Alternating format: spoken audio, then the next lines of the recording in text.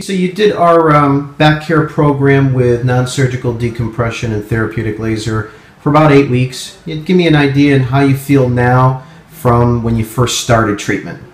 Oh, I feel 100% better. I don't know what I would have done if I didn't have those treatments. I really don't. I wouldn't be able to, like now I can walk up and down the stairs. I don't have to rely heavily on handrails. I can go shopping at the shopping center, which I, I really couldn't do before. I can walk the dogs, pick up the dogs, do things. I bagged leaves and raked yesterday, which normally, you know, forget it. I mean, getting in and out of the car is so much easier. I'm not afraid to sit down anymore because, not that that wasn't comfortable, it was. But what bothered me was getting up because, oh my God, it hurt so badly and it took a few seconds or so before I could get going again.